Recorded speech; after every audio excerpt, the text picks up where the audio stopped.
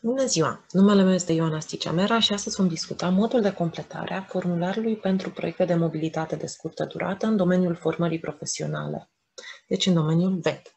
Ne vom axa pe o completare din punct de vedere tehnic și din punct de vedere narrativ. În primul rând, cum ajungem la formulare? Modul cel mai simplu de a ajunge la formulare este de pe erasmusplus.ro. Mergem în secțiunea de candidatură și aici avem formularele de candidatură active. Ele pot fi accesate urmând acest link. Când vă veți loga pentru prima oară, veți observa că nu aveți nevoie de un cont ca să vizualizați informațiile de pe pagină. În partea stângă veți avea întotdeauna un panou cu informații. Ce vă interesează cel mai mult pe dumneavoastră sunt secțiunile de suport, de unde dând click ajungeți într-o secțiune mai amplă pusă la dispoziție de către Comisia Europeană, unde veți găsi informații pentru candidați. Și aici puteți să le accesați pe fiecare în parte, bineînțeles. Hai să zicem, mergem pe Applicant Guide și aici veți găsi informațiile pentru aplicanți. Unele sunt și traduse în alte limbi, inclusiv de la Creating an EU Login, pentru care veți avea nevoie să scrieți aplicația, la obținerea unui cod OID, dacă organizația dumneavoastră nu are deja unul, și, bineînțeles, cum să completați un formular de aplicație din punct de vedere formal. Noi revenim la secțiunea care ne interesează pe noi și dăm click pe Erasmus+. După ce am dat click pe Erasmus+, vom fi redirecționați către o secțiune cu domeniile care există și dintre acestea vom selecta, bineînțeles, VET. Dând click pe VET, se vor deschide formularele de candidatură accesibile la următoarele termene. În cazul nostru, va trebui să lucrăm cu K122 VET. Vom da click pe Apply și abia acum primim rugămintea de a ne loga. Ce doresc să vă arăt? Dacă este prima oară când vă logați, veți observa că apare în acest fel secțiunea de logare. Dacă nu aveți un cod da? Deci nu aveți un cont de ECAS sau EU-login, cum se mai numește, adică n-ați mai lucrat niciodată pe Mobility Tool sau pe ORS sau pe o altă platformă pusă la dispoziție de Comisia Europeană, veți da click pe Create an Account și, bineînțeles, vă veți crea un cont. Dar, în cazul nostru, avem acces, vom da click pe informațiile care ne interesează, vom introduce parola și vom fi redirecționați către secțiunea adecvată și anume Vocation, Education and Training. Ce vreau să vă arăt este că în această secțiune, acum, da, în panoul din stânga aveți și o secțiune de aplicații unde puteți să vedeți toate aplicațiile inițiate cu această adresă de mail, da, cu acest cont de ECAS. Și aici le veți observa pe toate. Bun. Însă noi ne întoarcem în secțiunea de oportunități, Erasmus+, vom selecta domeniul VET și formularul de candidatură K122 VET. Formularul de candidatură este online și poate fi completat numai online. Asta trebuie să țineți minte. Dar, în cazul în care uh, aveți nevoie vă reamintim că puteți să-l exportați în format PDF.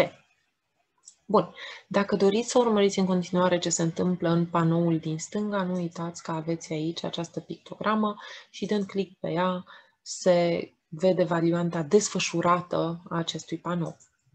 Începem cu secțiunea de context. În secțiunea de context, bineînțeles, vom trece în primul și în primul rând titlul acestui proiect.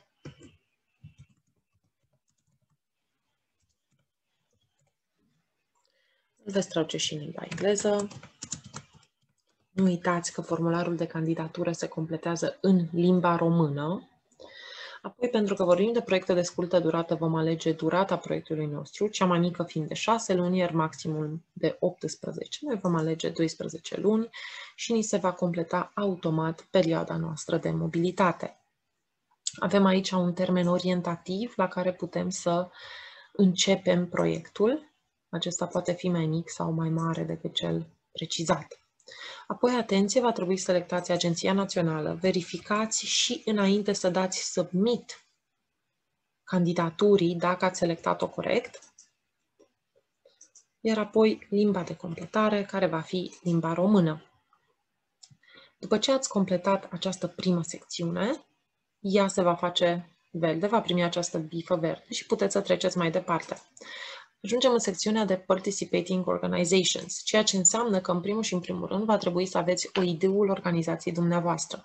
Nu uitați, există un singur OID instituțional și așa ar trebui să fie utilizat la nivelul proiectelor.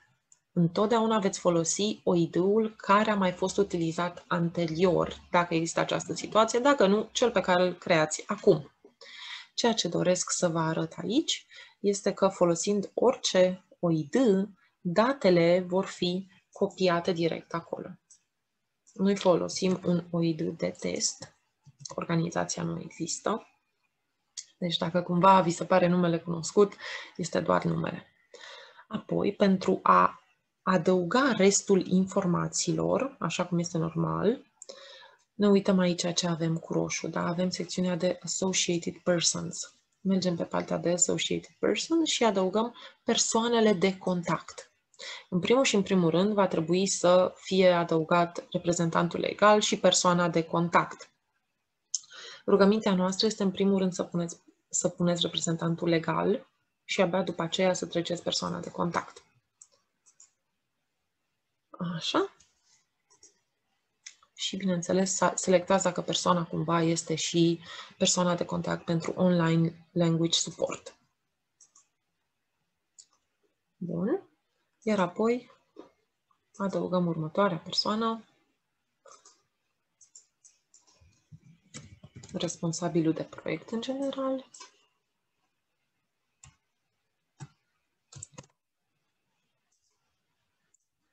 și puteți adăugați o altă adresă de mail. Așa. Dacă marcați această persoană, persoană de contact, o să vedeți ce se întâmplă. În continuare avem secțiunea marcată cu roșu, pentru că putem avea o singură persoană de contact principală. În momentul în care am modificat acest lucru, mă uit în partea stângă și văd că toate sunt bifate cu verde. Mai am secțiunea de Hosting Organizations. Aici putem adăuga organizații de primire care dețin OID și care nu dețin OID. Cutuma în partea de verde este că majoritatea organizațiilor de primire conțin, OI, conțin au OID.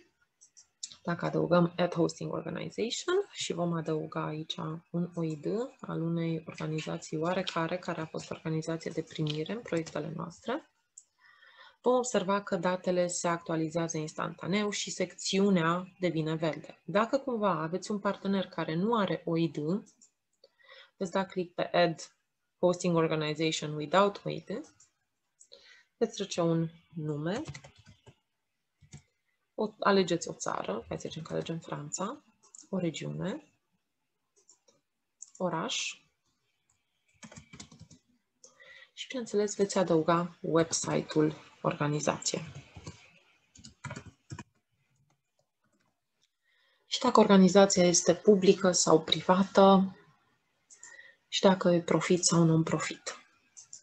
Ținând seama de informațiile de aici, vreau doar să vă reamintesc, dacă cumva mergeți pe organizația dumneavoastră, de exemplu, să o vizualizați, sau mergeți uh, pe oricare dintre organizațiile de primire să le vizualizați și observați că nu apar ca având statutul legal necesar, puteți să informați organizațiile în cauză, dar ei trebuie să modifice aceste informații în OID, iar după aia veniți aici și dați refresh.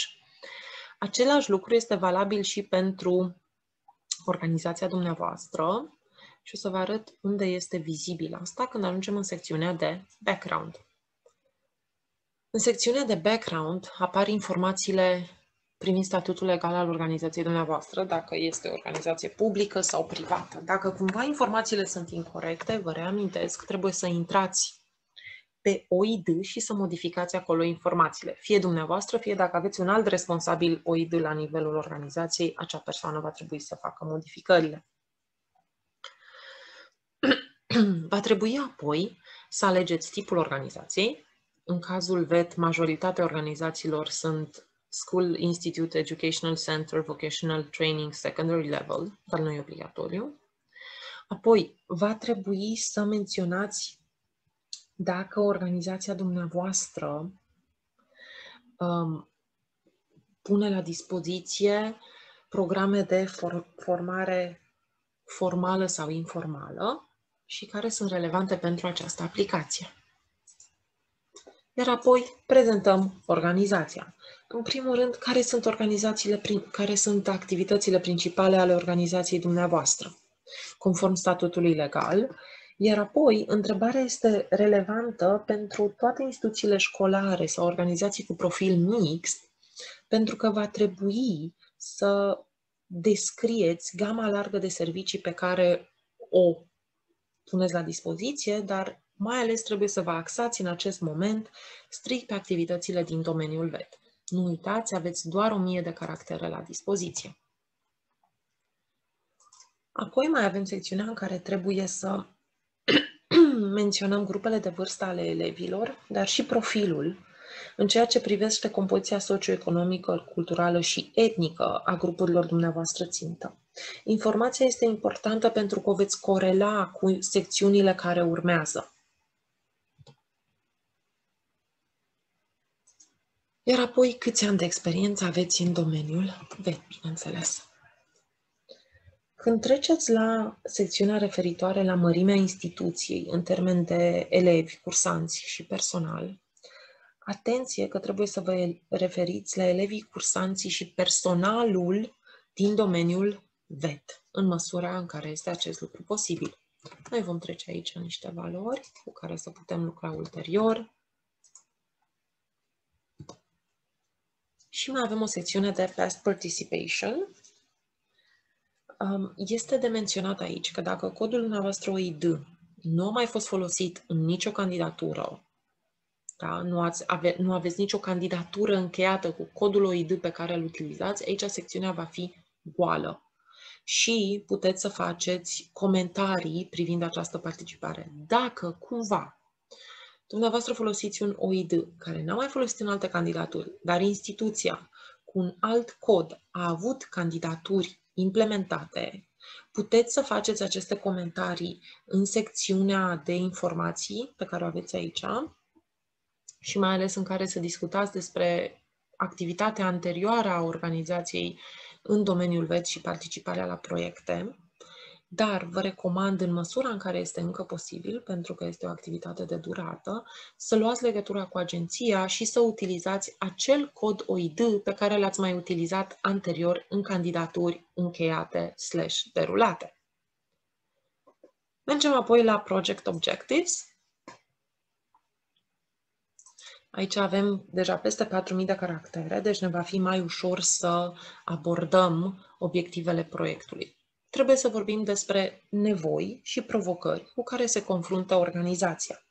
Noi vă recomandăm să realizați o analiză SWOT și să explicați aici ce nevoi se regăsesc și care derivă din punctele slabe sau ale de îmbunătățire, să menționați provocările care le puteți, le puteți găsi incluse la amenințări și, bineînțeles, să aveți în vedere faptul că finanțarea Erasmus este inclusă la oportunități. Exemplele concrete pot fi utilizate la analiza punctelor slabe sau amenințărilor. Nu uitați că puteți aveți aici în vedere statistici anuale privind rezultatele elevilor pentru anumite discipline sau doar în general. Apoi putem vorbi de rata de de abandon școlar, putem reveni la informații anterioare privind compoziția etnică, um, a oportunităților reduse, nevoi speciale, apoi inclusiv unde se află organizația, dacă este într-o zonă dezavantajată în ceea ce privește facilitățile de acces a tinerilor pentru training, pentru formare. Puteți să vorbiți despre, despre gradul general de bunăstare sau de ocupare a populației din comunitate puteți avea în vedere inclusiv câți profesori titulari aveți în școală sau ce lipsă de contacte și contracte cu agenții economici aveți pentru a realiza stagii de practică relevante.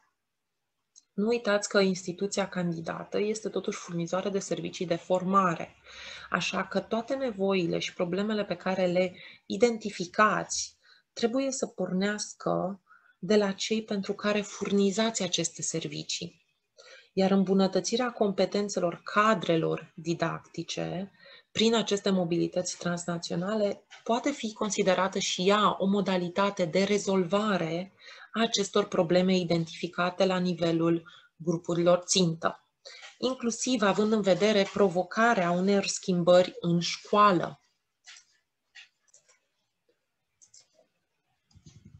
Nu întâmplător veți observa că această secțiune are peste 4.000 de caractere. Este șansa dumneavoastră să demonstrați relevanța uh, proiectului în această secțiune. Apoi veți trece în secțiunea de obiective. Când deveniți, definiți obiectivele pe care instituția dorește să le îndeplinească prin implementarea proiectului, nu uitați că acestea trebuie să fie concrete, realiste, să reprezinte un beneficiu real pentru instituție și că este de dorit ca principalul obiectiv să fie în strânsă legătură cu nevoile de formare identificate la nivelul grupurilor țintă, fie ele personal și sau elevi. Veți avea o secțiune în care să treceți titlul, să explicați la ce se referă acesta și cum veți măsura succesul atingerii acestui obiectiv. Deci, ceea ce trebuie să aveți în vedere la nivelul fiecărui obiectiv pe care îl veți adăuga este ce doriți să realizați sau să îndepliniți, cum este acest obiectiv corelat cu nevoile și provocările descrise anterior, cum veți evalua dacă proiectul își atinge, își atinge îndeplinirea, dacă el este îndeplinit și, bineînțeles, nu uitați că veți avea, după ce adăugați toate obiectivele, noi aici putem să mai adăugăm încă un obiectiv, de exemplu, va trebui să precizați și tematicile pe care le uh, veți adresa în proiect. Doar ca să trecem în, puteți adăugați mai multe tematici, doar ca să trecem un pic în revistă aspectele astea, pe ce mergem. Deci obiectivele trebuie să fie relevante și să fie formulate smart, adică specifice, măsurabile, realiste, realizabile de către organizație, cu resursele existente și încadrate într-un orizont de timp concret. Încercați să nu introduceți un obiectiv care nu răspunde unei nevoi pe care ați identificat-o anterior. Și nu uitați că un obiectiv trebuie formulat ca o îmbunătățire așteptată. Da? Iar, uh, doar ca să știți, avem un ghid de completare pe care îl găsiți în secțiunea candidatură și acolo aveți inclusiv exemple la finalul lui. Încă o dată vă reamintim că secțiunea nu trebuie să conțină fragmente copiate din ghidul programului sau din alte documente programatice Obiectivele pe care le formulați trebuie să fie relevante pentru instituția dumneavoastră și pentru proiectul pe care îl vizați. Și tot de adăugat, încercați să aveți un număr de obiective normal și absolut adecvat pentru ceea ce vă propuneți în orizontul de timp pe care vi-l propuneți la nivel de proiect. 10 obiective nu ar fi relevante, 5 obiective s-ar putea să fie mai prea multe. Nu uitați că aveți până la urmă și o limitare de număr de participanți la nivel de proiect, excluzând persoanele însoțitoare și acela este de 30. Trecem apoi în secțiunea de activități.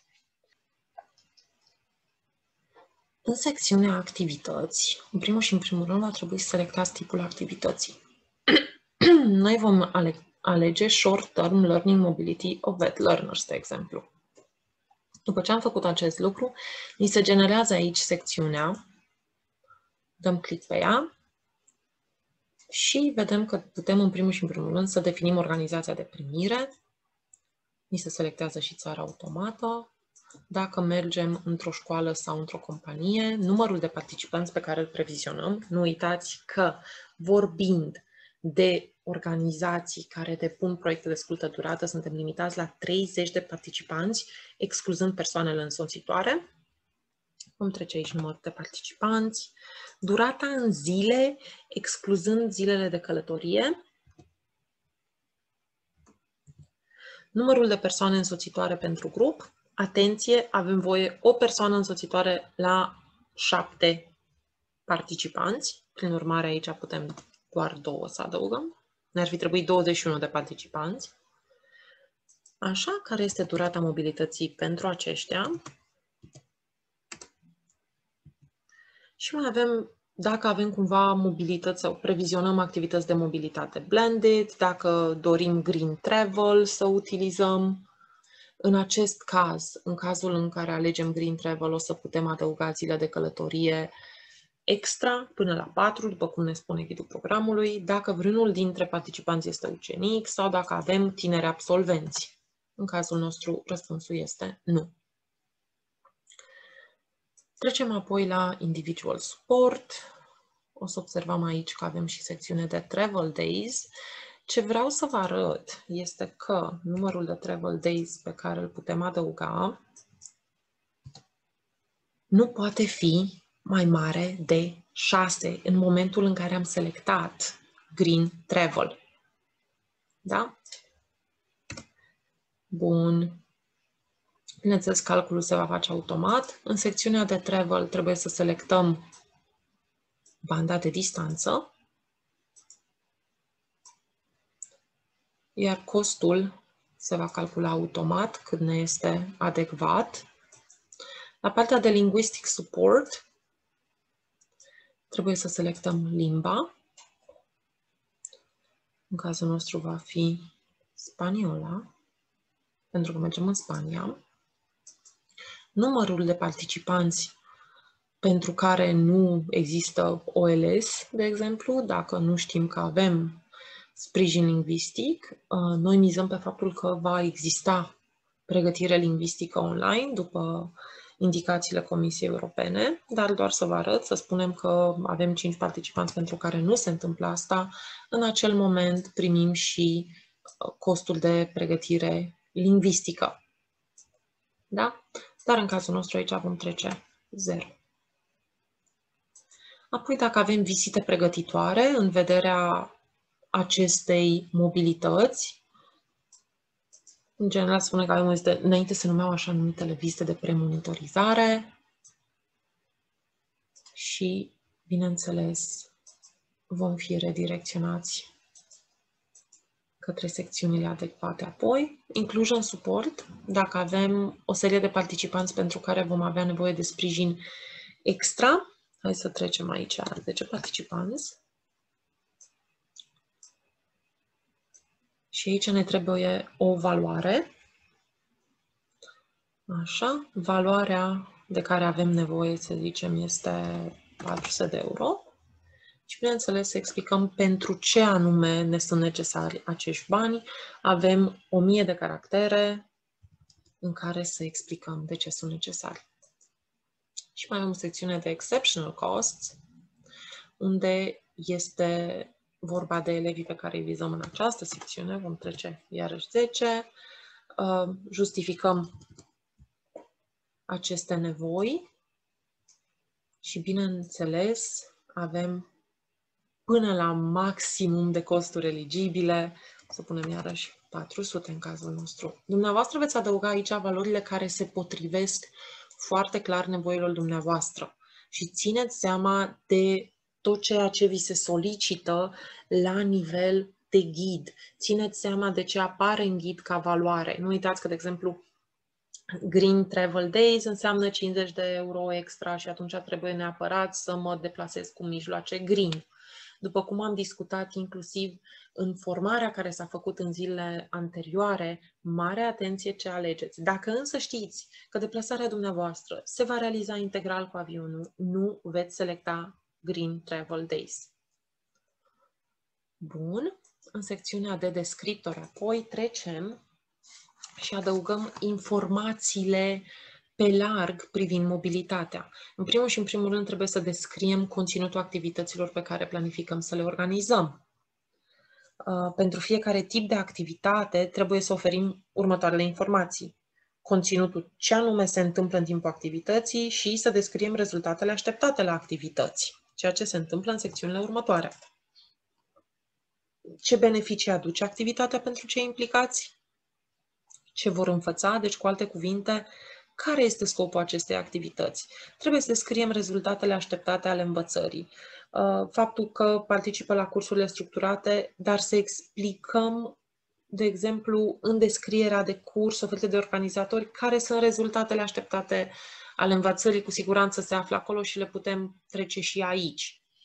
Apoi, cărora, căror obiective se referă activitatea noastră. Eu aici am spus de parte de curs, dar să înțelegem că cursuri structurate există pentru, um, pentru cadre, dar întotdeauna veți avea rezultatele respective. Dacă lucrați cu standarde de pregătire profesională, dacă le adaptați la un stagiu de practică, bineînțeles că și acolo veți avea rezultatele și puteți, le puteți trece aici, rezultatele învățării. Apoi, căror obiective se adresează activitățile noastre și numai aceea cum planificăm să contribuie aceste, aceste activități la atingerea obiectivului nostru. Trebuie să asigurați o coerență logică între nevoile prezentate la secțiunea anterioară, da, care este o secțiune dedicată de Project Objectives, și beneficiile estimate ale participării pe care le găsiți în această secțiune. Și, ca de obicei, orice activitate de, de formare uh, are nevoie și de o probă de evaluare. Da? Astfel, trebuie să descrieți cum veți evalua dacă beneficiile așteptate pentru beneficiari au fost obținute. Totodată, um, trebuie să aveți în vedere că aici e vorba de mulți actori implicați, pot să fie inclusiv participanții, poate să fie organizația de primire, pot să fie tutor de practică, aveți în vedere toate aceste aspecte în momentul în care descrieți această secțiune. Și țineți minte că aveți doar o mie de caractere pentru a descrie evaluarea. De asemenea, după ce faceți această parte, veți, ne întoarcem oarecum la participanții care, partic- care sunt selectați să participe la activități și trebuie să descrieți, să descrieți foarte clar ce proces de selecție și ce criterii veți utiliza și de ce ați selectat această metodă pentru participanții dumneavoastră. Nu uitați că aveți mult mai multe detalii în ghidul pus la dispoziție în secțiunea de candidatură uh, privind cum să completați din punct de vedere narrativ această, acest formular.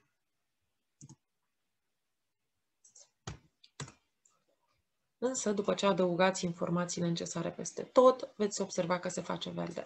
Când treceți la o altă activitate, când vreți să mai adăugați o activitate, să adăugăm o activitate pentru cadre, um, Teaching and Training Assignment, veți observa că se generează o nouă secțiune în care trebuie să reveniți asupra acestor informații.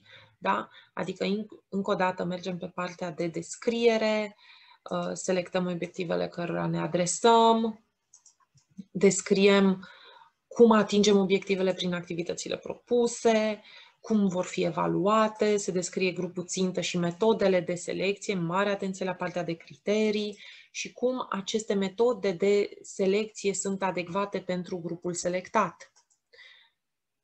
După aceea vom trece la secțiunea de individual support, unde trebuie să precizăm, scuze, organizational support.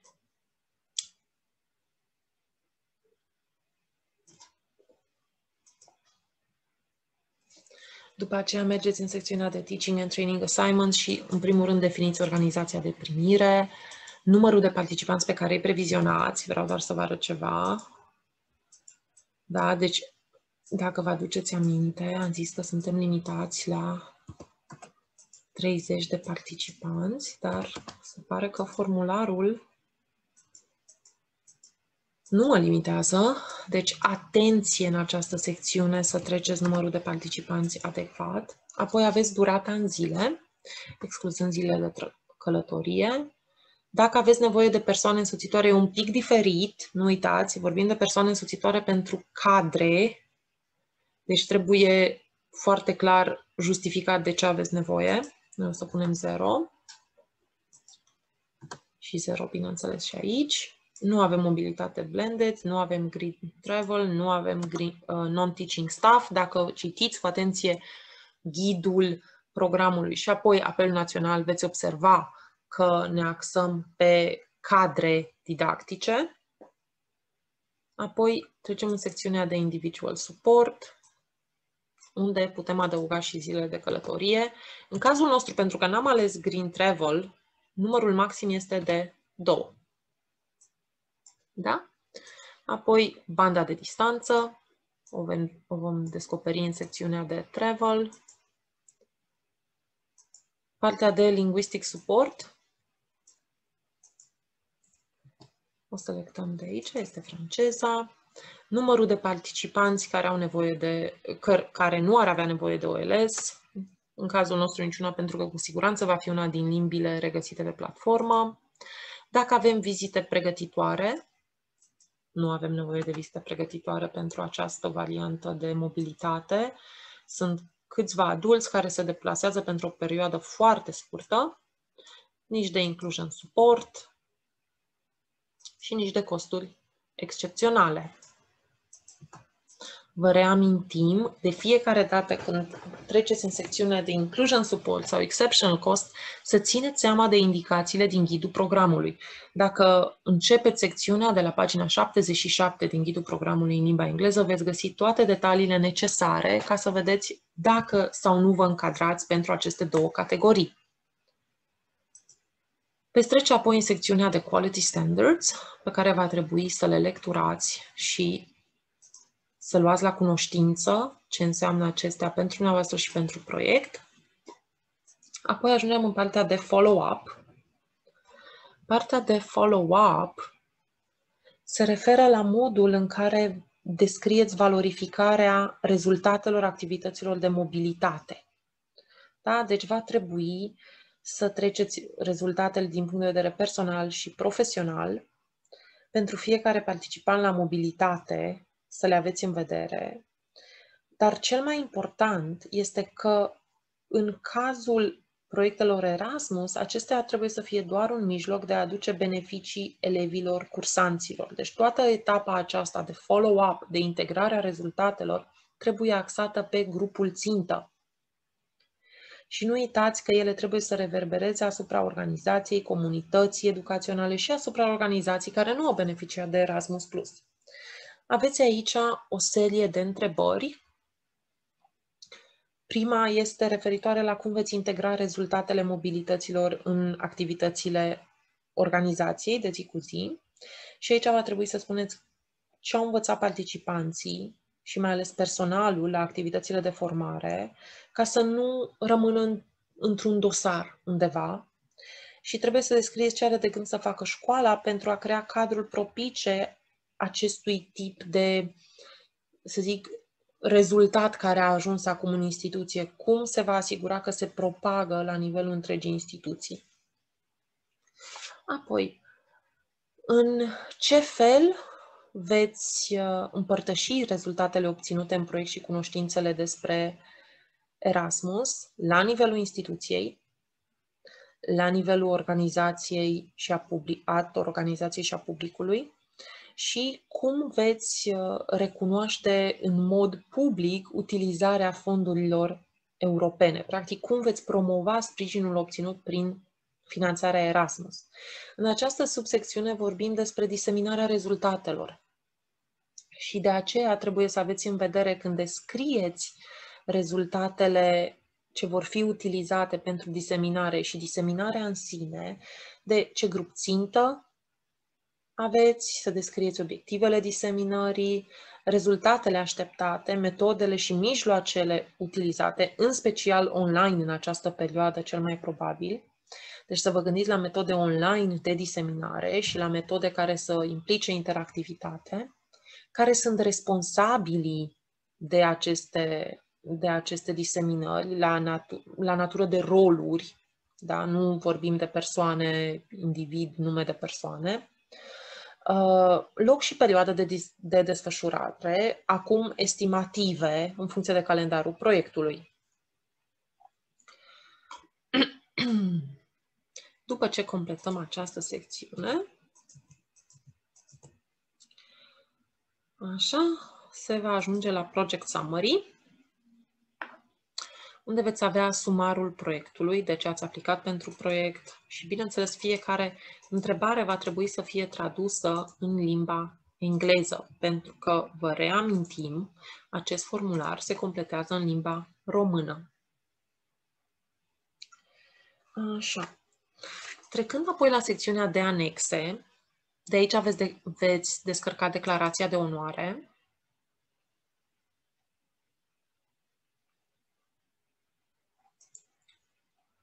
Pe care va trebui să o deschideți.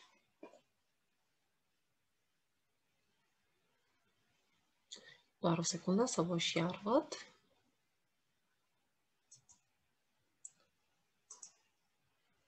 Așa, declarația de onoare.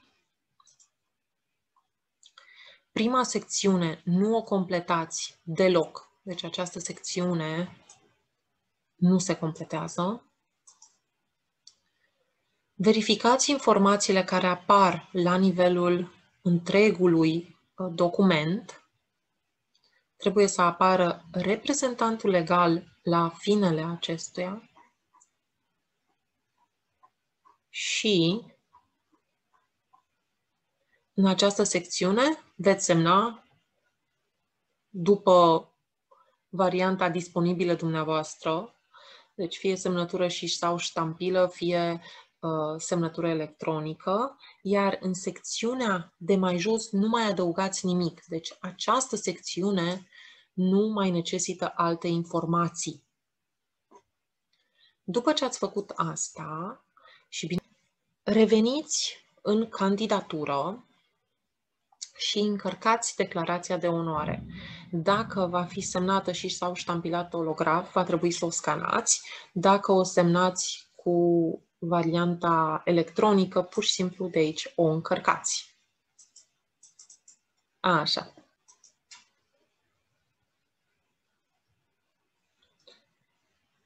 Și o adăugați. Nu vi se solicită alte documente la acest moment. Prin urmare, în secțiunea de Documents nu o să mai aveți ce să adăugați. Iar la final, înainte de a da Submit, veți bifa toate secțiunile necesare din checklist și puteți apăsa butonul de Submit. Noi nu vom face acest lucru pentru că vorbim de o candidatură de test. Sperăm că toate informațiile de astăzi v-au fost clare. Dacă aveți întrebări, vă recomandăm din nou să mergeți cel puțin pe partea de completare formală a unei candidaturi în secțiunea de suport, da? Applicant and Beneficiary Guides. Și de aici puteți să vizualizați cu print screen-ul, deci și mai aproape decât în varianta noastră, aceste posibilități de completare și la ce se referă fiecare secțiune. Da? Deci, how to complete the application form. Și aici veți găsi restul detaliilor care vă sunt necesare. Vă dorim mult succes în completarea candidaturilor dumneavoastră și sperăm să avem ocazia să ne reauzim. Numai bine!